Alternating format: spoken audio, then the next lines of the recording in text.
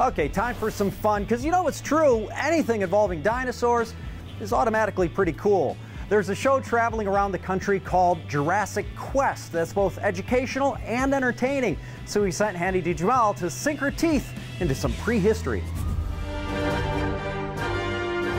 T-Rex, Triceratops, and friends are roaring into a city near you this spring and summer with the family-friendly traveling show, Jurassic Quest. Jurassic Quest is the largest, most realistic traveling dinosaur show in North America. And we travel with our whole dino herd, with our exhibit, our baby dinosaurs, and all of our fun activities. Dino trainer Elisa Marilis is getting the prehistoric party started with their immersive collection of animatronic dinosaurs.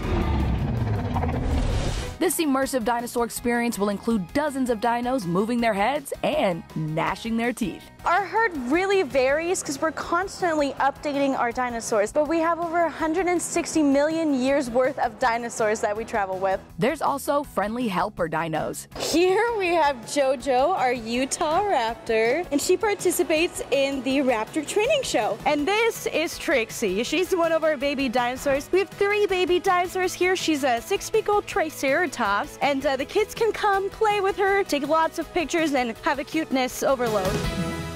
Next up, your pint-sized paleontologist will learn while having fun with educational activities. We call it fun education because we mix the fun with the education. So throughout the exhibit, we have signage all over for every dino that we have. We can learn more about our dinosaurs, where they come from, what era they're from. There's even a display with real fossils and a paleontologist to explain them. This is a skull of a velociraptor. And kids get their own dig going too. We have huge fossil days with dinosaur skeletons inside covered by sand. You get a little brush and you can go around and check out what dinosaur is under that. And there are also smaller fossils made from plastic that the children can take home as a souvenir.